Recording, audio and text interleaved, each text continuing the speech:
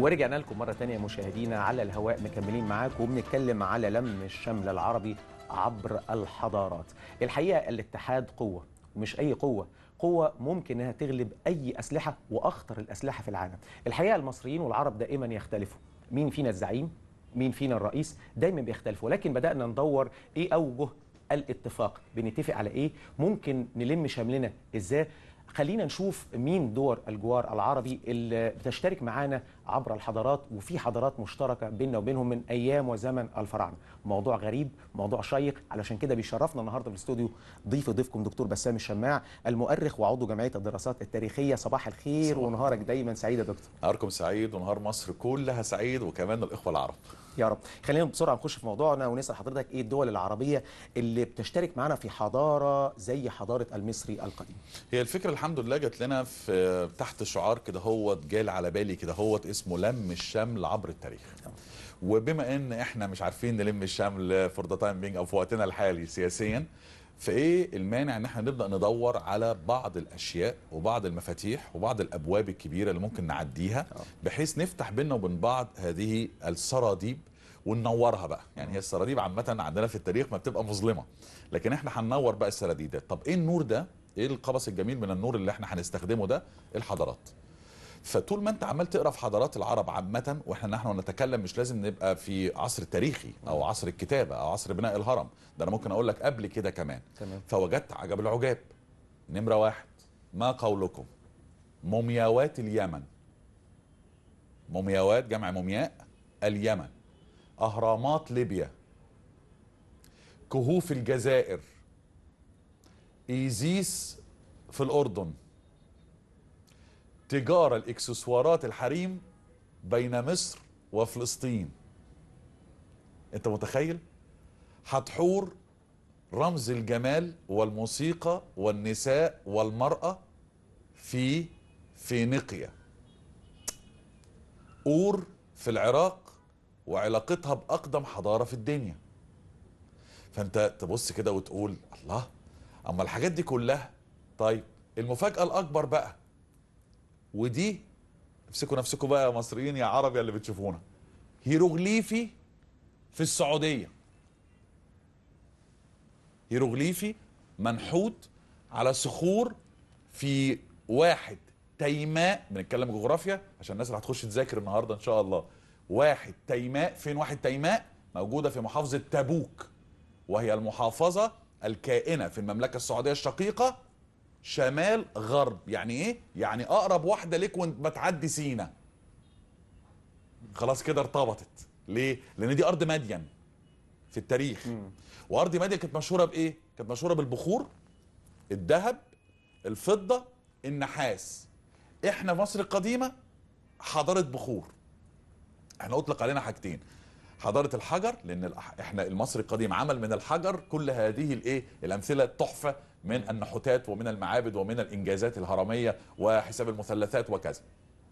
واتقال علينا كمان إن إحنا حضارة بخور لأن المعبد المصري دائما ابدا ما كان بيستخدم البخور. والبيت المصري القديم كان بيست... الست المصرية القديمة كانت بتستخدم البخور في بيت عشان تقتل الحشرات. كانت من ضمن الطريقة اللي بتخلي بيتها نظيف كان عندها كده طرق عبقرية المرأة المصرية. كانت تحط على الأرض ملح النطرون اللي بيجي من وادي النطرون عشان كده natron salt بالإنجليزي.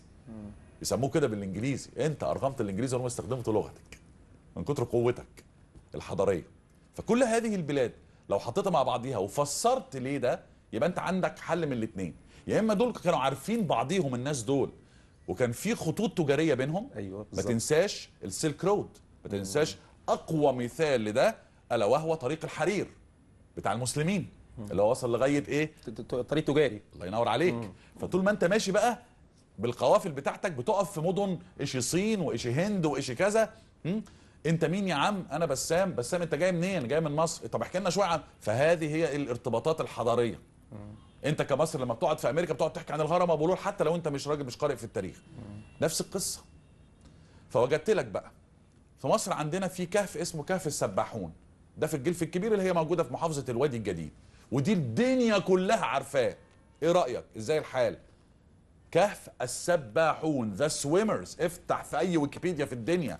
افتح اضرب كده بس على الكمبيوتر وانت مغمض. the swimmers cave الجلف الكبير. اكتب كده بالإنجليزي. ها؟ الدنيا كلها عارفاه. مش عايز أقول لك هينزل لك قد إيه؟ صور. وبعدين كمان نزل في فيلم The English Patient المريض الإنجليزي. اللي هو الدنيا كلها أوسكار وما أوسكار ومش عارف إيه. بس ما تصورش ما هنا تصورش هنا. وبيني وبينك أنا آه أنا عايز الناس تيجي تصور في الصحراء المصرية. بس ده بالذات كويس إنه ما تصورش هنا. ليه؟ لأن كان أدى إلى إن السياح يروحوا. الفيلم ده شهر ده سويمرز فبدأوا السياح يروحوا. وأنت عارف ممكن جدا السائح وهو في الكهف. ومفيش أي التزام فممكن يقعد يكحت في الألوان وكده. ودي بقى مش ألوان مصر القديمة وبس دي مصر القديمه اللي أنا بسميها مصر القديمة جدا. عارف أنت؟ في مصر القديمة بتاعتنا الحلوة الجميلة دي واخد بالك؟ لكن في حاجة اسمها مصر القديمة جدا اللي هي كمان قبل الهرم وقبل المسلة وقبل الهيروغليفي وقبل توحيد القطرين. قبل ما أنت تبقى بلدين كمان. قبل قبل قبل الحضارة الفرعونية. تماما. آه. تماما. وعلشان نريح الموضوع في حكاية الحضارة الفرعونية دي ودي برضو يعني نصيحة مني للأساتذة في وزارة التعليم. امبارح كنا على لقاء مع وزير التعليم وكنا بنتكلم. كلمة الحضارة الفرعونية لما تيجي تتكلم فرعون لقب أو اسم ها دي من الأسرة ال 18 وطالع. انت عندك 30 أو 31 أسرة. الأسرة الثمن يعني عندك 17 أسرة الملك المصري ما خدش لقب برعه انت متخيل؟ برعا أي أصل كلمة الباء بتتحول لفاء. بر بيت ع عظيم البيت العظيم البيت الكبير. برعا بقى إيه؟ فرعا فرعا بقت فرعون. وترجع تقول في اللغة العربية هل فرعون اسم أم لقب؟ دي قضية تانية. لكن أنا بقول لك اسم أم لقب. يعني هل هذا الملك الطاغية كان اسمه فرعون؟ ولا كان لقبه فرعون؟ ودي قضية تانية. لكن الأهم دلوقتي إن إحنا بنتكلم في السياق بتاعنا هو إن أنت لما تيجي تقول الحضارة الفرعونية أنت بتلغي 17 ما- أسرة ما قبلها آه كده برافو. عليك آه. لأن خوفو ما كانش فرعون مثلا يعني خفرع ما خدش ما عندناش نص مطلع خوفو فرعون الهيروغليف اللي في السعودية كان عليه خراطيش ملكية في صخر مش معبد لا ما أنا عايز معلش أنا مش. عايز أقطع حضرتك ولكن اتفضل. حضرتك ذكرت آه، اليمن العراق ليبيا الجزائر وكل دي حضارات اشتركت معانا ولكن لما حضرتك تتكلم على السعودية عارفين إن السعودية والكويت والإمارات هم بدوا رحل آه، ما لهمش حضارة كانت إلا يعني بيتكلموا عن الشعر عن الترحال ما فيش حضارة بعينها إلا ما جت. الحضارة الإسلامية آه. بقى بعد كده. ولكن معنى كلام حضرتك إن خالص. في بالظبط ده في. حضارة ده حضارة يا جماعة نحن نتكلم عن حضارات ما قبل الحضارات إيه رأيك بقى هذا أنا بقول لك التاريخ ما قبل التاريخ ها علشان كده ما تستغرب ما أنا اللي أنا عايز أقوله لك إيه لما أنت تذاكر ده كويس تعرف مثلا أن المومياوات في اليمن لا تحنط بنفس طريقة تحنيط مومياوات مصر. ها؟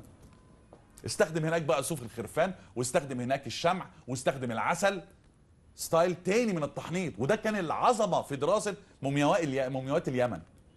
مومياوات اليمن مدفونة في جبال فوق في أعلى الجبل فكان بيضطر العلماء إن هم ينزلوا بإحبال في قوة رياح ممكن العالم الاثري يطير فيها ويخش وقال وهو في الهواء كده يبدأ بالفرشة يعمل كده. ويبدأ يدرس المومياء. يبقى لا اليمن اخترع فكر اخت... ابتكر فكرة تحنيط جديدة. غيرك. ودي عجباني جدا لأن variety is the flavor of life أنت كل ما بتعمل اختلاف في الأداء ده بيثريني أنا كعربي ويثريني أنا كحضارات. مين بقى اتق- اتقابل في تبوك؟ مين بقى اللي حط اسمه في تبوك ده؟ في واحد تيماء. يا سلام على واحد تيماء. يا أخي اعمل سياحة مع واحد تيماء. رمسيس الثالث يعني خراطيش الملكية. هذه الأشكال البيضاوية اللي أنتم بتشوفوها تملي في المعابد دي اللي فيها اسم الملك واسم الملكة. دي في السعودية؟ لقينا في واحد تيماء في محافظة تبوك وبالألقاب يعني الخرطوش كده وفوقيه نبتاوي نب يعني سيد تا أرض واتنين. طب ده بيعني إيه يا دكتور؟ يعني بيعني وجود يعني حضارة؟ بقى فرعونية في منطقة زي دي بيعني إيه؟ أول حاجة تجارة زي ما حضرتك تقدمت. على طول كده وأنت مغمض. دي قوافل تجارية مصرية رايحة مدين عشان تجيب بخور وذهب ونحاس وفضة. وترجع. خلاص كده؟ تمام. قريبة؟ مش بعيدة قوي لأن أنت عديت سينا. هل سينا كانت مأهولة؟ كان فيها السشا وكان فيها البدو كما قلت حضرتك. أيوه واتكتبوا واترسموا على الجدران بتوع المعابد. رمسيس الثالث الثالث مش الثاني مش اللي هو اللي كل الناس عارفاه ده اللي شالوه من الميدان ده لا. الثالث تبص تلاقي هذا الخرطوش الملكي بيثبت لك إن القوافل دي طول ما هي ماشية عمالة تسيب في marks عمالة تسيب في علامات. واحد إثبات إن إحنا كنا هنا. اتنين المصري مغرم بإيه؟ بوضع اسم إيه؟ اسمه في كل حتة أو بنحت إن أنا موجود. ثلاثة هي علامات تجارية لأن وأنا راجع دي ال stations بتاعتي. دي المحطات. علشان أنت خلاص رحت المطرية. لكن لو أنت راجع المطرية هتاخد إيه؟ علامات. آه. آه. لكن لو أنا سبت في كل آه أنا كان كنت فاكر أنا كنت سايب الشنطة هنا يبقى دي المحطة الفلانية وهكذا. فرجوعه وذهابه هو ده الطريقة اللي هو بيضمن بيها نفس الطريقة اللي هو بيستخدمه. عشان القوافل اللي تيجي بعديه تستخدمها. يا سلام. يبقى بيفكر كمان في المستقبل مستقبل التجارة. ولذلك من العجيب جدا لما أجي أقول لك إن كهف the swimmers مستخدم الحبر الأحمر. تروح جنوب ليبيا تلاقي الكهف اللي هناك اللي راسم الطور رسمه والناس قاعدة مع بعضها بتتكلم. ده في منظر في ليبيا اتنين قاعدين بيتكلموا مع بعض بيتجاذبوا أطراف الحديث. تروح الجزائر في حتة اسمها تسيلي ناجر. تسيلي ناجر تسيلي دي اكتب تسيلي بس. T A S S S L L E Algeria. بالإنجليزي يا سيدي بلاش. حتى أو بالعربي. هتلاقي 500 مليون بني آدم مهتم بهذه الأشياء.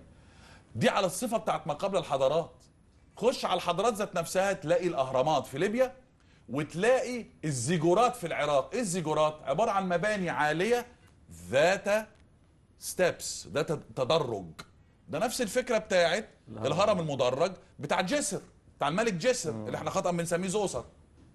مفيش زال في الهيروغليفية فاحنا المفروض نبطل زوسر دي. ده معنى كده إن الحدود بتاعتنا اختلفت عن الحدود اللي موجودة دلوقتي. يعني كانت الحدود فيما قبل التاريخ أو الحدود الفرعونية اختلفت 100% عن الحدود اللي موجودة دلوقتي بيننا وبين الدول العربيه ولا مفيش حدود. ولا مفيش إيه رأيك؟ آه. ما تيجي نعملها كده تاني. هي دي بقى اللي أنا طالبت فيه في جامعة الدول العربية في المحاضرة بتاعتي. قلت لهم لو كان المستعمر قد وضع حدود للعالم العربي وما نقدرش ننزلها دلوقتي لأسباب سياسية أنا فاهمها ومتفهمها آه، جدا آه، كراجل قارئ متواضع آه. في التاريخ. طيب ما تشيل هذه الحدود ولكن بطريقتك الذكية. إيه؟ شوف أوروبا عملت إيه؟ ما هو أوروبا شالت الحدود بس شالتها إزاي؟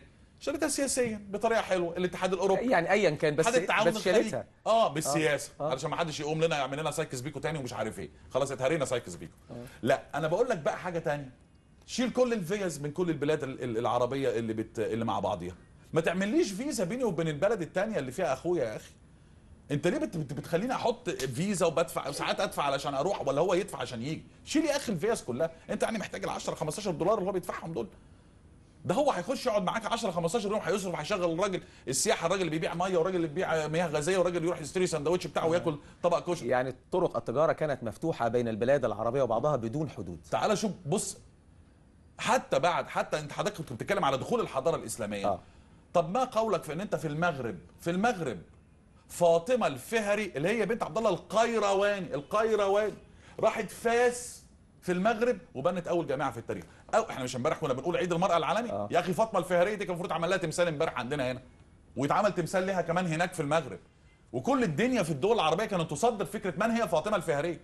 فاطمة الفهرية يا سادة في الثمانينيات ميلاديا أنشأت وشيدت أول جامعة كما تعلم أنت الآن اليونيفرسيتي في التاريخ. في التاريخ. هتقولي طب هنا منف مطريه أقول لك آه كان عندنا جامعات ومعاهد في مصر القديمة بس الجامعة كما تعلمها المرأة. فاطمة الفهريه سيدة. عشان يبقى عندكم فكرة يا مصريين يا عظام ويا عرب يا عظام يا اللي بتتفرجوا علينا. أول اتفاق نسائي قعدوا مع بعضهم كده عشان يتفقوا على حرية المرجع إيه بتاع إيه؟ في العالم يعني 1945 أل- 1800 أول واحدة ست في أمريكا درست. 1800 أنت 800 و فاطمة الفهريه بتبني جامعة. بيذاكر فيها مين؟ بيذاكر فيها ابن خلدون. بيذاكر فيها بعد كده هوت اللي بعد كده بقى البابا الفاتيكان. بابا الفت... احدى بو- أبواب الفاتيكان أو بابوات الفاتيكان درس في جامعة القرويين بفاس المغرب التي أنشأتها بفلوس باباها اللي ورثته منها قالت وصامت طول البنى وأدت أداء عظيم جدا. ليه إحنا مش عارفين فاطمة الفهري؟ بالظبط. دكتور بسام تعالى ندي عنوان تاني لفقرتنا وهو إدارة التاريخ بين التأثير والتأثر. الله عليك. إدارة التاريخ الله. نشرحها إزاي؟ أضل... آه، يعني هي الفكرة على فكرة هي المحاضرة في الأول كان اسمها كده قبل لم الشمل وبعد كده إحنا إيه زودنا لم الشمل فيها. لكن هي فعلا الإدارة بين التأثير والتأثر. ليه بقى؟ إحنا قلنا فكرة لذيذة جدا. إحنا قلنا لا يمكن أي حضارة من الحضارات دي كانت هتؤدي ولا أنت. يعني ولا الحضارة المصرية اللي اللي مجننة الدنيا دي كلها ومجننانا الحلوة الجميلة الجنون الحلو ده ها؟ ما كانش ولا واحد في الدنيا هيعرف يفرز ده من طب وحساب مثلثات وفلك وكذا وكذا إلا لو كان في إدارة. إلا لو كان هناك إدارة. يعني إيه مدير؟ يعني إيه حمقي يونو؟ هذا الجهبذ المصري مهندس الهرم الأكبر يا أخي أنا لو عليا أسميه هرم حمقي يونو لصاحبه خوفو. حضرتك عايز تقول انه علم في حد ذاته. تمام يا فندم. آه. سيدي الهرم لا يمكن أن يكون إفراز كرباج أنا ممكن أضربك بالكرباج دلوقتي عشان تزق لي الكرسي ده من هنا لغاية المدمزال اللي قاعدة في في الكاميرا. هتعملها. لكن لو قلت لك زق لي الكرسي ده وحطه بدرجة مين أو 52 عشان يعمل درجة انحدار عشان تحط لي 2 مليون و300 ألف حجر في مبنى هرم خوف. عشان كل حجر يبقى من 2.5 طن ل 12 طن الواحد. عشان يصل بعد كده هوت إلى غرفة في وسط الهرم وعشان الغرفة دي ما تتكسرش من ضغط كل هذه الأحجار راح حاطط خمس أحجار فوقيه بفراغات علشان ياخد الضغط كله ويرفضه يلفظ الضغط. فتعيش هذه الغرفة لمدة 4000 سنة ونص من غير ما تتكسر. علشان يبقى مبنى 6 مليون طن وزن 6 مليون ده جيولوجيا مش هندسة بس 6 مليون طن وزن علشان الأرض تستحمله. يبقى أنا أبقى راجل دارس جيولوجيا وأول واحد عملت جيولوجيا علشان مفيش سنتيمتر واحد تحت الهرم أساس. أنت بتعمل أنت النهارده عشان تبني دورين بتنزل تقعد تحفر في أساس لغاية لما يطلع لك أبيار مياه جوفية ده حقيقي. ويطلع لك تمساحين يقطموا دماغ العامل وينزلوا تاني. من كتر ما أنت عمال تنزل تحت حتة ثلاثة ريختر دلع كده زلزال هوب الدورين راحوا واقعين. أنت عندك مبنى تعرض لكام زلزال وتعرض لكام ها؟ ده وأنا. بكلمك على مبنى من فوق 100 هرم.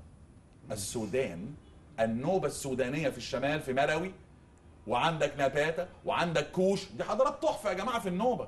لازم تدرس وتتذاكر. بها 180 ما قولك السودان فيها 180 هرم. إزاي الحال. 180 هرم في النوبة السودانية. من ممالك كوش وممالك نباتة ومروي دي السودان. افتح سياحة مع السودان. شيل كل ال boundaries دي والحدود دي. طب آثار في السودان آثار في اليمن آثار في العراق آثار في الجزائر آثار في ليبيا كيف تأثرت هذه الحضارات مشتركة مع بعض وأثرت في, ده- بعضها البعض؟ ده سؤال كويس. ده سؤال تحفة ويدرس ويتعمل فيه كتب ومذاكرات. واعمل إيه بقى بعد ما أدرسه وأثبته بقى تاريخيا مع الكل مش هتبقى سهلة. أو ما فيش لكن في تماثل. يعني ما فيش الناس دي قابلت بعضيها لكن في تماثل في الفكر زي ما. قلنا مومياوات اليمن مصر. بالظبط. طب أنا أقول لك على فكرة حلوة ما تيجي تعمل رحلة سياحية تبيعها وتسوقها في الغرب السياحة مضروبة في كل الوطن العربي كما نعلم جميعا. وأنا هقول لك السياحة فين لأن أنا شفتها فين في ديسمبر اللي فات. السياحة عند الصهاينة. أنا وقفت طابور في متحف الكيان الصهيوني في القدس المحتلة عشان أخش. ديسمبر اللي فات. أنا كنت عايز أذاكر أثارنا هناك في الكيان الصهيوني عاملة إزاي. لقيت إيه هناك؟ لا مش عايز أقول لك. المرة الجاية بجيب لك فلاشة فيها صور أنا صورت اثارنا جوه متحف إسرائيل المسمى أو المدعاة بإسرائيل الكيان الصهيوني طوابير واقفة ب 16 دولار التذكرة. ولهذا منحى اخر لكن أنا هقول لك لو أنت عايز تنقذ السياحة في الوطن العربي اتحد في دي زي ما حضرتك تقدمت في الأول مشكورا واعمل لي رحلة 20 ل 25 يوم من أول المغرب لحد الخليج. عديني على جامعة القرويين بتاعت فاطمة الفهرية. أبين للدنيا دي كلها يعني إيه المرأة المسلمة كانت بتبني أول جامعة في التاريخ. اوعى تقول لي دي كانت واحدة بقى second in order وقاعده في مش عارف إيه ونمرة اتنين في الحياة والكلام اللي هم بيطلعوا علينا ده. ده أنتوا أينشتاين ما عملهاش عندكم. أينشتاين ما بناش جامعة. فاطمة الفهري بنت جامعة. فليمنج ما عملش اللي عملته فاطمة الفهري. ستيتا المحاملي. حد يعرفها؟ عالمة جه... جهبذ في علم الرياضيات. خلاص مريم الاسترلابية الاسترلاب أتحداك. لو تعرف بيشتغل إزاي جهاز بيجيب لك الاتجاهات كلها. كانت هي متخصصة في صنع هذا الجهاز المعقد الاسترلاب. سيدة على أعلى مستوى. عائشة الحرة التي أجلت سقوط الأندلس. أجلت سقوط الأند... سيدة واحدة في القصر. أجلت سقوط غرناطة. وفي الآخر قالت لابنها روح ابكي يا أخويا وأنت بتسلم الأندلس. قعدت تتخانق لي مع بعضيكوا في العيلة الواحدة. اتخانقتوا فوقعتوا. وقالت له الكلمة المشهوره ابكي كالنساء ملك لم تحافظ عليه كالرجال. ما بنقراش تاريخنا ليه؟ واندلساء أيوه واندلساء لأنهم اتخانقوا مع بعض. لكن لما كنت كده كانش حد عارف يعرض لما. طيب خلينا نتكلم على آثار آه، وحضارة العراق وحضارة لبنان. الله. وحضرتك ابتسمت لما اتكلمت على العراق ولبنان. الآثار اللي فيها والحضارة اللي فيها. الله عليك. بص يا حبيبي من المعروف إن عندنا في مصر سيدة كده رمزية في مصر القديمه أسطورية كده اسمها حتحور. حتحور دي كل الناس عارفاها لأنها كانت رمز الجمال ورمز المرأة ورمز الموسيقى ورمز التركواز الفيروز. وكان الفيروز يتجاب منين؟ كان يتجاب من سينا. وكانت سينا اسمها في مصر القديمه تا مفكات مفكات يعني تركواز بالهيروغليفي. وتا يعني أرض. فهي أرض التركواز. فهي أرض الفيروز. فحتحور اللي هي حوت حر اللي هذه السيدة الجميلة العظيمة ها؟ طبعا راقية جدا جميلة جدا جسمها تحفة رشيقة? أصبحت هي من قوتها من قوة هذا الرمز أصبحت ربة الجمال فين؟ في لبنان. الست اللبنانية كان في يوم من الأيام بتبص على الست المصرية على إنها رمز الجمال. يعني اللبنانية هتموت تبقى مصرية من جمالها. إزاي الحال دلوقتي مش هتكلم بقى. أنا هنجيب بقى طب كلنا كلهم حبايبنا هناك. لا تقول لي بقى هيفاء ولا نانسي؟ طبعا مع احترامنا طبعا لكل الناس يعني. بنهزر يعني. لكن بالفعل هي دي كانت حقيقة تاريخية. كانت رمز المرأة المصرية. كانت دي كانت حاجة اسمها ربة فينيقيا الأسطورية حتحور المصرية. يعني دي كانت الست دي كانت عابرة للبلاد كانت سمعتها عابرة للبلاد. العراق يوجد بها طبعا حدائق باب معلقة واحدة من عجائب الدنيا السبعه القديمة. لما هي زهقت بص أنا بقى كل ده برمي على إيه؟ لما أنت هتصدر هذه القصص للغرب. الغرب هيفهم يعني إيه أنت كنت بتعامل امرأة إزاي؟ كمان. يعني لما لما الست راحت لجوزها قالت له أنت جايبني من حتة أنت متجوزني من حتة خضراء وقعدني في صحراء. أنا عايزه خضار أنا عايزه جنينة. راح عامل لها حدائق بابل المعلقة. فأصبحت واحدة من عجائب الدنيا السبعه القديمة. أحلامك أوامر يا مراتي يا حبيبتي. قمة الحضارة التعامل مع المرأة. قمة الحضارة برافو أعتقد عليك. التعامل مع أنا المرأة. الجملة دي أنا عجباني. اس- اسمح لي أنا أستخدمها في محاضرتي القادمة. لأن طول ما أنت عمال تقول للناس المرأة عاملة إزاي في في ال- في الماضي ودلوقتي كده. وأخيرا هقول لحضرتك على حاجة لذيذة آه، آه، ننهي بيها الحتة دي بتاعت آه، بتاعت العراق بالذات. العراق فيها حضارة اسمها أور. أور دي ممكن تبقى أقدم مننا بالمناسبة. ما عنديش أي مشكلة. أنا مش عايز أقف أقول أصل أنا أقدم من المغرب والمغرب السودان. ومين- آه. مش مهم. آه. آه. المهم في الآخر خالص دول كلهم افرزوا حاجة عاملة إزاي؟ علمت الدنيا. أستاذ دكتور بسام يعني موضوع شيق لا ينتهي وأكيد هناخد وعد من حضرتك دكتور بسام إن إحنا هنتقابل في العديد والعديد من اللقاءات وأنا هحاول أكون موجود مع حضرتك. آه، دكتور بسام الشماعي المؤرخ وعضو جمعية دراسات تاريخية. شكرا على تشريفك وجودك النهارده معانا وموضوع شيق لا ينتهي الحديث فيه. أشكرك يا فندم. شكرا جزيلا. أشكرك يا فندم. مشاهدينا سمعتوا العجائب والغرائب عن الحضارات آه، العرب ال- الفرعونية القديمة ولم الشمل العربي من خلال هذه الحضارة الرائعة. لا كان في حدود ولا كان في مشكلة. زي ما قال دكتور بسام مين الأول مين الآخر؟ أكيد مش هنختلف. دايما العرب متفقين. خلصت فقراتنا النهارده. فقرات نهارك سعيد مستمرة دائما منذ التاسعة صباحا حتى الحادية عشر الهواء. شكرا جزيلا على حسن المتابعة. أشوفكم دايما على خير.